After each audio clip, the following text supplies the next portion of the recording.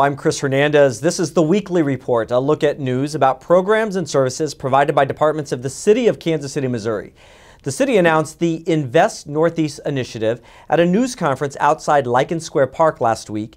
Invest Northeast is a new redevelopment initiative aimed at promoting economic growth and property beautification in the historic Northeast District. It involves a unique partnership among the city, historic Northeast property owners, and several major Kansas City organizations, including UMKC and the Economic Development Corporation of Kansas City. These, and, and this is only a mock-up for purposes of today, but you'll be seeing more and more of these signs, more and more examples of that logo all over the Northeast area. Our desire is to bring the Northeast together in a way that sends a message to everyone who lives there and everyone who comes to visit. The historical character that, this, that the Northeast enjoys, but we're moving ahead. And this is one more example of that. All right, so here, help me with this countdown, if you will, from 10, okay? Ten. Two, one.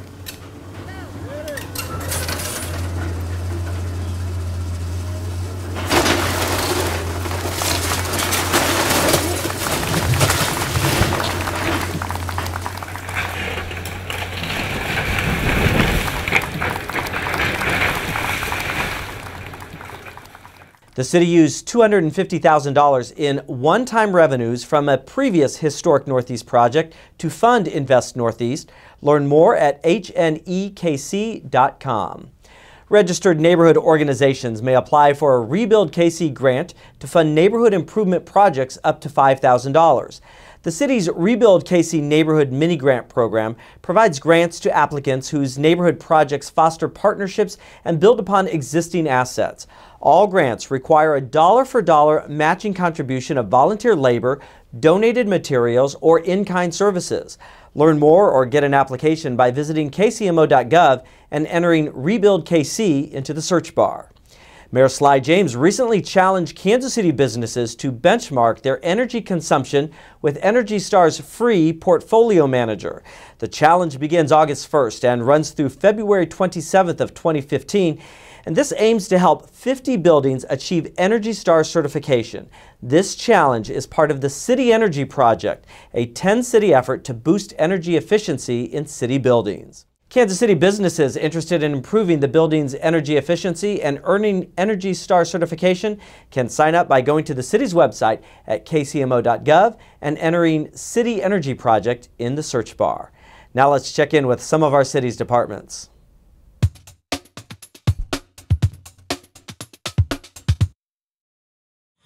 Did you know that the wonderful the great Garrison Community Center is 100 years old. For 100 years, it has been serving this community. Thank you. Uh, thank you guys for coming out today, and thank you for helping us celebrate the 100 year anniversary of Garrison Community Center and uh, 123 years, I think, is the right number of Parks and Recreation. Uh, of course, all of this would not be possible for us to do without the support of the community and without the support of our city council.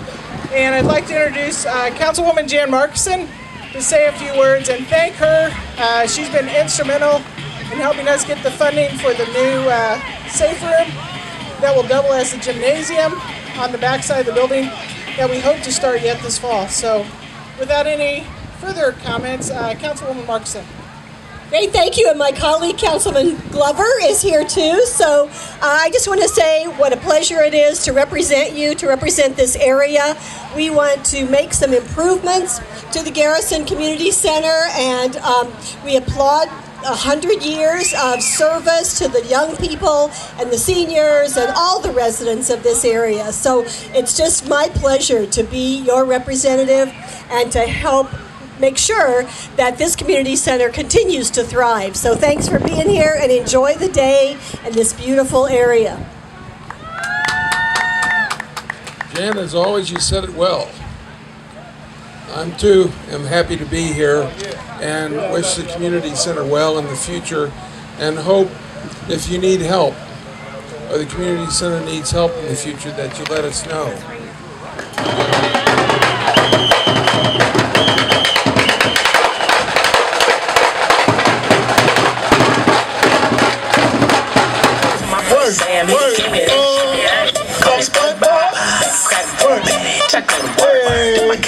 Call me. Hey, and so,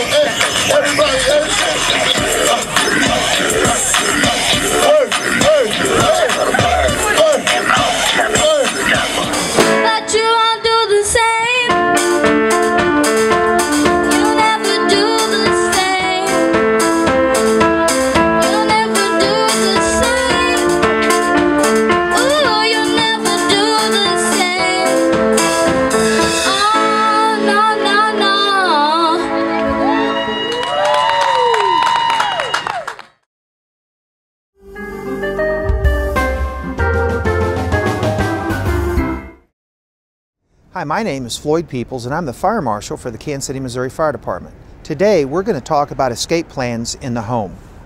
Having an emergency plan in case of a fire is just as important as having a smoke detector. Exit drills in the home, or EDITH, can help people prepare for an emergency. Most home fires occur at night when people are the least prepared. Home fires can become a disaster if you and your family are not familiar with how to escape during an emergency. To design your fire escape plan, sketch the floor plan of your home on a piece of paper. Indicate on the plan all doors, windows, and other areas from which you could escape from each room in your home. Draw arrows to indicate the normal exits, which would be your primary escape route. With an alternate color, draw arrows to indicate a secondary exit from each room in the home. Choose a location outside the home where family members should meet once they have safely escaped. A neighbor's front yard or sidewalk may be an ideal meeting place. Your fire escape plan may look great on paper, but does it really work? Regular exit drills in the home will allow you to test the plan and make adjustments as needed. When practicing your exit drills in the home, remember to use alternate escape routes as well. Children should be closely supervised during drills in the home, and no one should take unnecessary chances. As a reminder, an operating smoke detector should be located in each bedroom and on every level of the home, including the basement. Everyone should know the location of telephones in the home and where to find a telephone outside of the home. It's very important that children also know the 911 phone number in order to report a fire or other emergency. So let's summarize. Take the following steps to help stay safe in case of a fire. Prepare a fire escape plan, install and maintain smoke detectors, examine your home for fire hazards, and take steps to prevent a fire before it occurs. To watch additional videos about 311 or other city services, check the FYIKC webpage at www.kcmo.gov and then search for FYI KC. I'm Floyd Peoples wishing you a safe day. Thank you.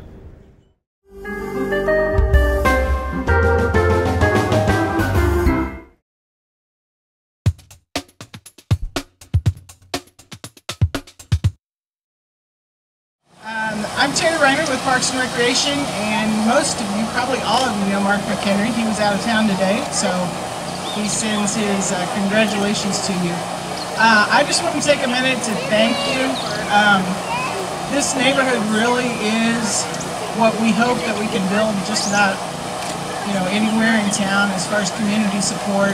Um, 120 yards of mulch spread this morning in no time at all and uh, the eyes and ears on the park and all the thousands of hours of removing honeysuckle. So uh, great job and congratulations on really being kind of the model for what we hope in community involvement with Parks and Recreation. So um, with that, I'd like to uh, ask Kurt to come up and give a few words. And again, from Parks and Recreation, just thank you very much for all that you do to support this park and this community. Terry. Thanks, everybody, for uh, coming this afternoon.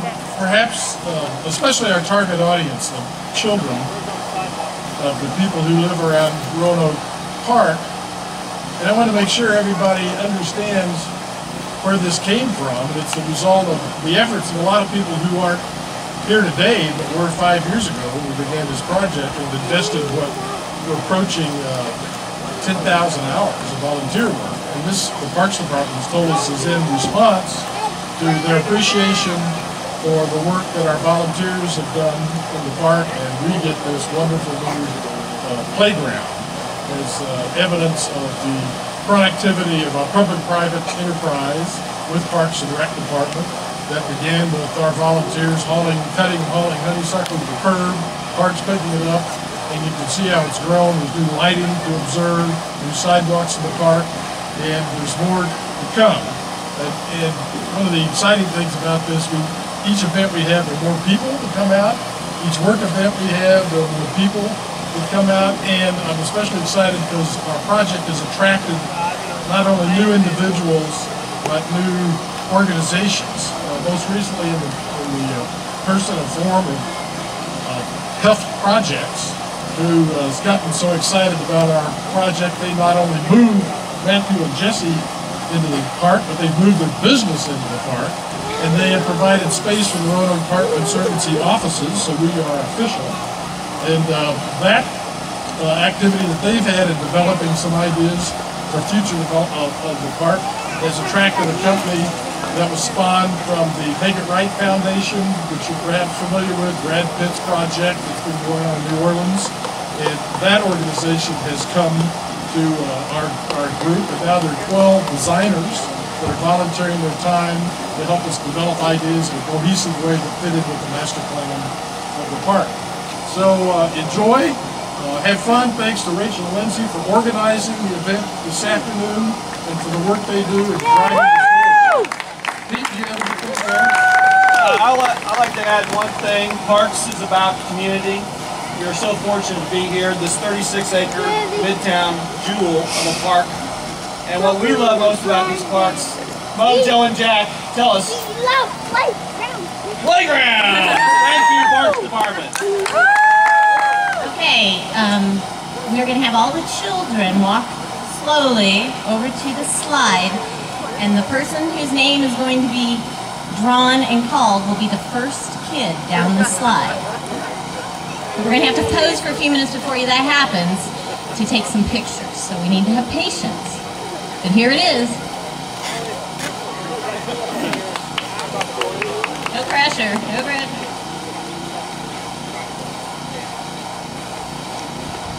Where is Hudson Harms?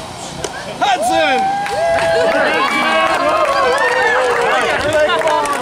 Historic moment for Hudson will be the first down the slide after the pictures.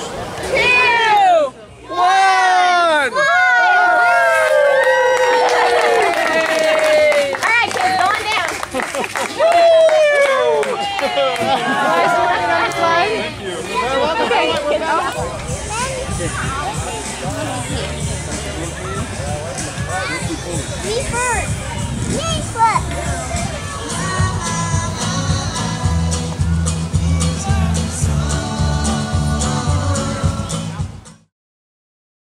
The Health Department will hold a back to school health fair on Saturday, August 9th from 9 a.m. to 2 p.m. This fair is open to all ages and will provide immunizations, dental assessments, sports physicals, well child checks, STD testing, blood pressure screenings, and breast exams. Appointments are required for the sports physicals and well child checks, but all other services are provided on a first come, first served basis. The Health Department is located at 2400 Troost Avenue. For more information or to schedule an appointment, call 816 513 6108. The city's quarterly Neighborhood Leaders Roundtable meeting will take place on Thursday, August 28th from 6 to 7:30 p.m. at the Southeast Community Center. This quarterly meeting brings city and neighborhood leaders together with residents to discuss neighborhood issues and the city's neighborhood services. The August 28th meeting will present information on land bank properties and the receivership program, plus a presentation from Legal Aid of Western Missouri on how neighborhood associations can sue negligent homeowners of vacant or blighted properties. For more information about any of today's stories, please log on to kcmo.gov and search for the weekly report. That does it for this edition of the Weekly Report. I'm Chris Hernandez. Have a great week.